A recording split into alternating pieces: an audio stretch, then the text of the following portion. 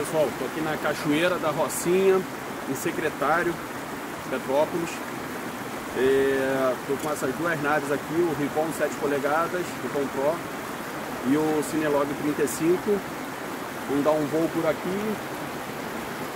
Infelizmente aqui tem esses postes aqui, essas linhas de energia elétrica. Então é, tem uma limitação aí de, de manobras e de voo em cima aqui da cachoeira. Mas vamos ver o que a gente consegue fazer. Valeu!